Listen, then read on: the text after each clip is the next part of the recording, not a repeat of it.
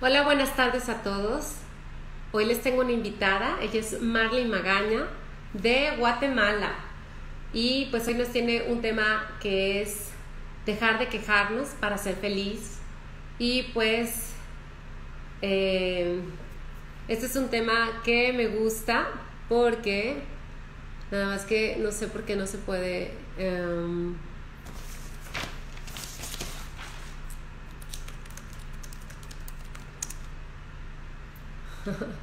no sé, no sé por qué no se conecta. Pero bueno, este tema es solamente un hábito, un pensamiento que vamos eh, practicándolo y se convierte en una personalidad. ¿No me escuchas? ¿No me escuchan? Qué raro. ¿Sí me escuchas, Harry? Y bueno, pues no sé por qué esta niña, no sé si se escucha. Ah, vamos a esperar a que se conecte Marlene. Marlene, aquí estás. Ahora Marlene, envíame la solicitud para yo poderte enlazar. Estamos enlazándonos a Guatemala. Mándame, ahí es, mándame una solicitud. Marlene, te, sale una solicitud, envíala para yo poderla enlazar. Casi siempre practico antes para que no haya esto, pero este ahí donde estás, envíame una solicitud. Marlene. Te sale en automático. Y pues no me puedo quejar porque vamos a hablar de eso. Mándame una solicitud, Marlene. No, no, no está, corazón. Aquí está.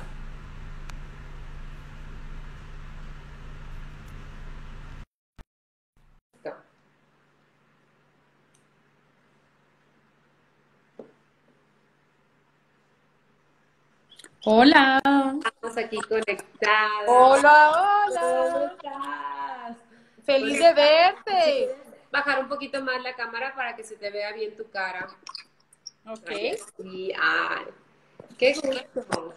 Qué gusto. quiero platicar un poquito acerca de Marlene. Ella está en Guatemala y ella tiene muchos estudios de todo lo que es tanatología, coaching, pero algo que me dijo hace unos días, dice, tengo tanto conocimiento, pero es tan importante que ese conocimiento lo podamos poner en práctica para poder aprender. A veces tenemos mucho conocimiento y practicarlo. Y una de nuestras prácticas, de lo que vamos a hablar ahora, es esa práctica de no quejarnos. Y pues hoy nos preparó un tema, nos preparaste un tema. ¿Cómo te encuentras allá en Guatemala? Hola, Mark, gracias a ti por la, el entusiasmo y por ese amor que le tienes a Monterrey, a tus seguidoras, a toda... Guatemala, Guatemala. Gracias a Guatemala también a los diferentes grupos donde tú estás, porque veo de que sí tienes cantidad de seguidoras en diferentes ciudades y eso pues dice mucho debido a que les has ayudado, les has aportado mucha sabiduría y por esa razón te tienen a ti y van de la mano contigo. Que bueno, pues aquí estamos bien, hace una tarde preciosa, eh, con las limitantes que muchas ciudades tienen o países tienen, pero no nos quejamos. No nos quejamos, y hoy ese es el tema, porque la verdad hay tantas razones. Hay personas que este, el sol, el jefe, el vecino, el agua, la luz, el calor, el frío, todo es razón y es un pensamiento que pues se va practicando y no nos damos cuenta a veces que estamos en un estado y en ese estado pues nos empieza a dañar. Y pues tú hoy nos preparaste un tema, ¿qué nos tienes para hoy? Pues bueno, Mar, eh, fíjate que ante esta situación que nos ha venido a cambiar la vida, eh, muchas personas, incluyéndome, eh, nos agarró desprevenidos y ante esa situación hubo mucha molestia, mucho desacuerdo, mucho dolor, mucha pérdida. ¿Pérdida de qué? Libertad. Ah, claro.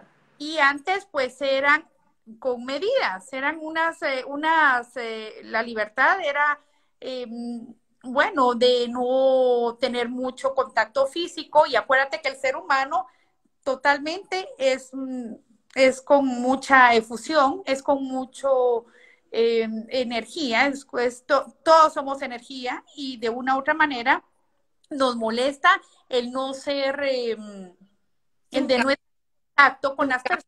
Entonces, pérdida. Esa es una pérdida de libertad. No tengo libertad a. Entonces, eh, como buenos seres humanos que somos, somos totalmente de mucha energía y nos va molestando el tema de decir no se puede, empieza a aparecer enojos, pensamientos, empezamos a divagar la mente con enojos, con molestias, con ira, con rabia, incluso mm, lo vamos a lo vamos a denotar con las con nuestros compañeros o de trabajo que teníamos. Ahora no pues hacemos home office eh, podemos dar a conocer esa molestia lo hacemos con nuestros hijos o con las personas que tenemos en casa verdad ante esa situación como dices tú hay muchas razones por las que, quejarnos. Pero a veces hay, hay, ahorita estamos hablando de esta realidad pero la queja es algo que existe siempre. Puedes vivir en el mundo ideal y practicar queja. Totalmente. hay personas que tienen el mundo ideal y practican la queja y es como un estado, ¿verdad? En el que, en el que vivimos y ni nos damos cuenta. Hace... emocional y los hábitos se pueden mejorar. yo, bueno, les puedo decir, eh, tenía esa molestia, pero yo decía, no, tengo que controlarme. Cabeza, mente, alma y corazón.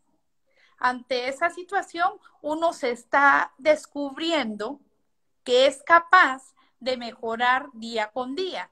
Incluso hay técnicas que te ayudan a vivir mejor el día a día, Mar. Tú eres muy, muy importante para mucha gente y todas tus seguidoras, pues me imagino que te preguntan de cómo poder vivir esta situación que nos está aterrando a muchos, pero después de ver la manera en que podemos vivir mejor, ya no nos da miedo y ya no nos quejamos. Así es.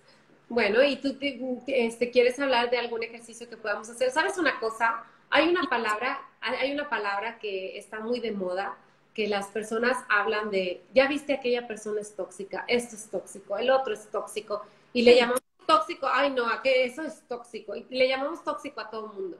¿Y qué tal si podemos eh, reflexionar y a lo mejor no nos damos cuenta y somos nosotros esa persona tóxica, ¿verdad? Y algo que, un ejercicio que yo creo que pudiera ser es el observar que un ejercicio, um, hay personas que cuando llegan y se acercan, dices tú, ay, no la soporto, mira nada más, y se te hace el estómago, te empieza a sentir muchos sentimientos feos y podemos observar como ejercicio a esa persona y ver sus características, sus gestos, lo que hace. Ahorita a lo mejor ahí lo puedes hacer en casa con, con tu pluma y decir, ay, wow, ve los gestos, ve las caras. Y luego también observar a una persona que cuando la ves es un encanto, que te hace sentir siempre bien, que te vas feliz después de haber estado y también ver sus gestos y características. Y esa es una reflexión de que podemos, que a lo mejor nosotros tenemos algo de eso, porque a veces nos no nos damos cuenta en, las cosas personales. Vemos lo de los demás, pero nuestra, eh, para poder, la mejor inversión que puedes tener es en tu trabajo personal y hacer esos cambios, porque si tú cambias, tu mundo cambia. A veces pensamos que si cambia el mundo, entonces antes de la pandemia la gente también se quejaba y también estaba molesta, ¿no?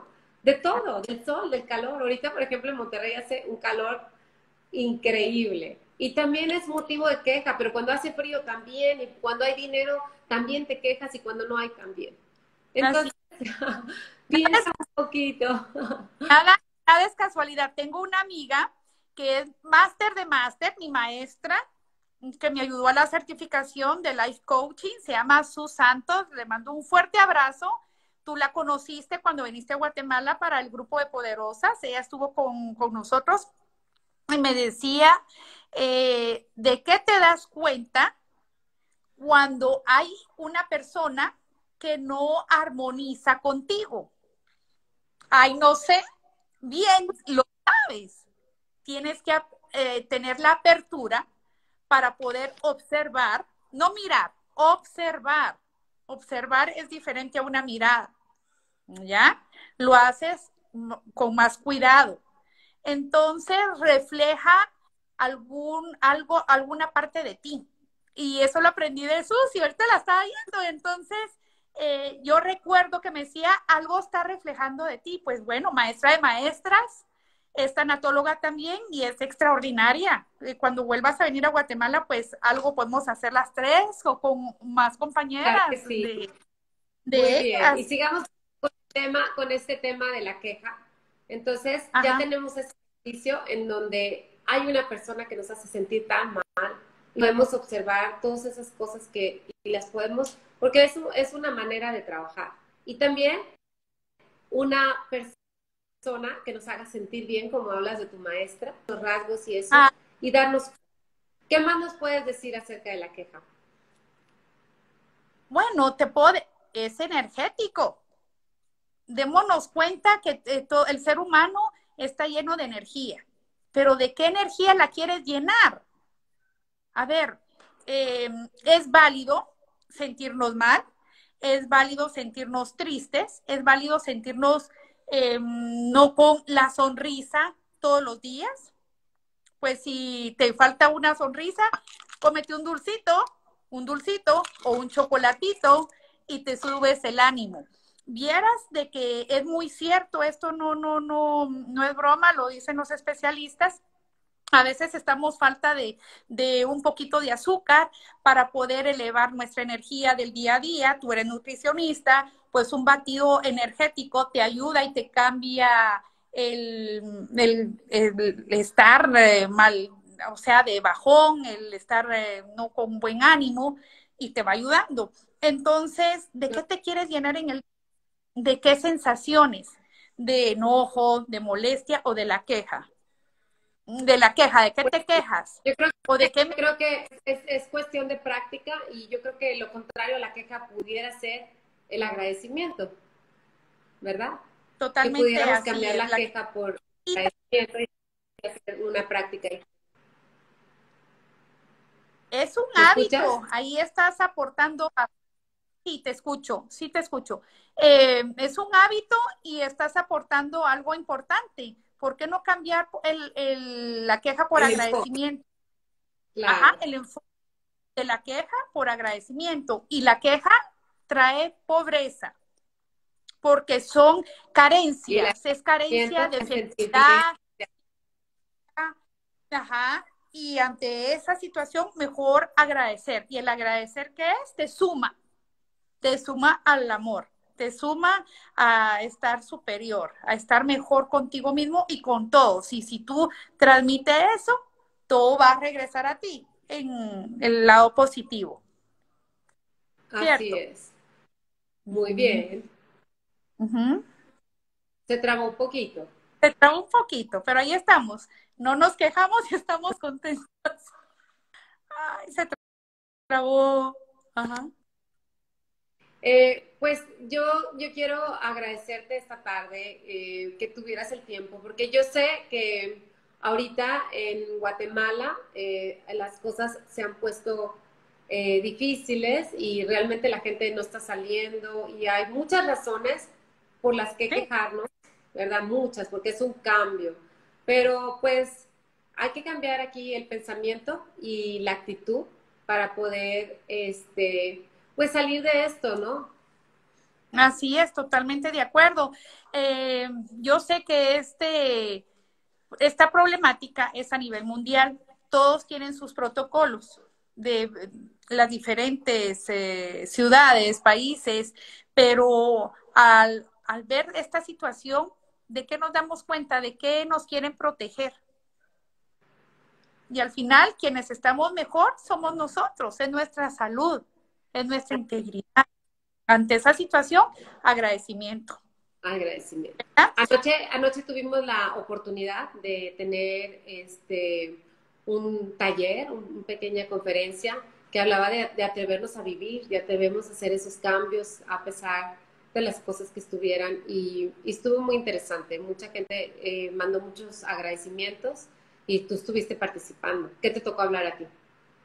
Bueno, pues eh, de las pérdidas en el tema de tanatología, el aprender a, poder sobrellevar las, eh, los cambios de vida, las pérdidas. A veces hay problemas patológicos que ya son difíciles de ir eh, curando, pero poco a poco tenemos que saber que existe el recurso humano para poderlo sobrellevar, porque no queremos eh, llegar a la aceptación. Y para llegar a esa etapa de aceptación tenemos que pasar, subir muchos escalones, dolorosos sí, pero no imposibles. El ser humano tiene herramientas, Mar. ¿Por qué no usarlas? Eh, mira, está la salud, está el pensamiento, también está la paz, está la armonía. Y si hay recurso humano, ¿por qué no acudir a él? Si no, hay que comprarlo, no hay que arrebatárselo a nadie. Hay que entrar a nuestro interior, sacar lo mejor de nosotros para poder brillar sin hacerle daño. Hay que estar conscientes de parar esa queja porque nos hace daño y yo pues les digo en la parte física que también produce enfermedades. Entonces, yo tengo aquí mi pulserita. Esta es una práctica muy sencilla de ponerte tu pulserita y decir cada que te quejes te das tu golpe. decir, párale. y lo podemos hacer por una semana. Y si nos quejamos, nos cambiamos de la pulserita de la otra mano y la idea es estar, aunque sea una semana sin queja de verdad que si así como tenemos la, todo es una práctica y los malos hábitos es una práctica y el quejarnos, estar tristes, estar enojados y tener un enfoque, simplemente esto es una práctica que se las dejo de tarea, que puedes ponerte una pulserita, que le des tu golpecito cada que te, que te quejes para hacer esos cambios. Tenemos esos pequeños cambios, esos ajustes en tu vida, en tu mente, en tu corazón, empiezan a hacer grandes cambios. El hecho de que tú agradezcas por las mañanas y lo hagas como una práctica es un gran cambio, porque el hacerlo te empieza a sentir bien. Yo he hecho pequeñas cosas que se han convertido en mis prácticas y que se han convertido ahora en mi estilo de vida. Y yo quiero invitarlos a todos allá en casita que pues podamos hacer esos pequeños cambios que, que pueden hacer grandes cambios de bendición, de salud, de, de alegría en tu vida como decía Marlene, vamos a hacer este curso, pero hay mucho dolor y muchas cosas allá afuera, lo sé, pero alguien tiene que hacer el cambio, alguien tiene que ser luz, alguien tiene que estar este, bien, ¿verdad? Es para tener ese equilibrio entre las cosas que están sucediendo y alguien que pueda enviar esa luz. Ay, qué lindo hablas, Mar, de veras, qué, qué interesante. Yo sí tengo, y regreso al punto, hay mucha, muchas personas, hombres y mujeres, que necesitamos esa cápsula diaria, esa cápsula de, energía, de amor, de agradecimiento. Y qué bueno que te tomas el tiempo y que estás de la mano con ese grupo de personas que te siguen en las redes. A mí me llamó mucho la atención porque desde que viniste a Guatemala, más de hace cinco años, tienes tu gente aquí y mm, te buscan. ¿Y por qué razón? Porque das mucha energía, das muy buenos tips, para poder eh, mejorar el estado del día a día, del estado de vivir y de una u otra manera todo ese aprendizaje. A mí me encantó estar en Guatemala, fue un milagro, realmente no lo esperaba y a última hora este, sucedió, cuando suceden las cosas, cuando estás en esa vibración linda de estar agradecida y contenta, a mí me regalaron el, el, el pasaje para poder estar en Guatemala en ese hermoso lugar, con tantas mujeres buscando todo ese cambio. Fue maravilloso. Te agradezco también el que pasamos tiempo juntas y ahora estamos aquí este, enviando bendición a toda la gente. Sí, pues ojalá de que dejen sus comentarios y podemos dar, eh, darles un seguimiento, un acompañamiento eh, al grupo que está contigo para poder tener eh, un acercamiento más estrecho y poderles aportar lo que nosotros tenemos con todo cariño, ¿verdad? Que se hace con todo cariño. Muchas gracias y pues mandamos bendición a Guatemala, a ti, a tu familia y sé que tú también, todo lo que, que está pasando, pues también estás poniendo de tu parte para estar bien, yo te felicito y, este, y gracias a ti también por este mensaje. No, yo muy contenta, agradecida contigo y estoy aquí cabal para cuando tú necesites. Eh, aquí estoy del otro lado del teléfono. Ahora la tecnología nos aporta mucha ayuda para podernos comunicar constantemente y las fronteras podrán ser muy grandes, pero con la tecnología estamos muy cerca, muy cerca. Vamos a dejar de quejarnos para ser felices y no se olviden de su práctica, aunque sea por una semana. ya está recordando decir, ay, ya me quejé. Dejarnos. Por agradecimiento. Pues muchas gracias, Marlene, y bueno, pues aquí te mando mucho cariño. Te quiero un montón y gracias por estar conectada, porque siempre eres alma, mente y corazón y la conexión es muy importante. La energía es lo que nos hace vibrar, lo que nos hace transmitir, lo que, hace, nos, lo que nos hace movernos día a día. Y ante las adversidades, la fe, el amor y la actitud es la que cuenta. Un saludo a tus hermosos hijos. Igualmente, Hasta luego. Adiós. Adiós. Saludos a todos. Bye.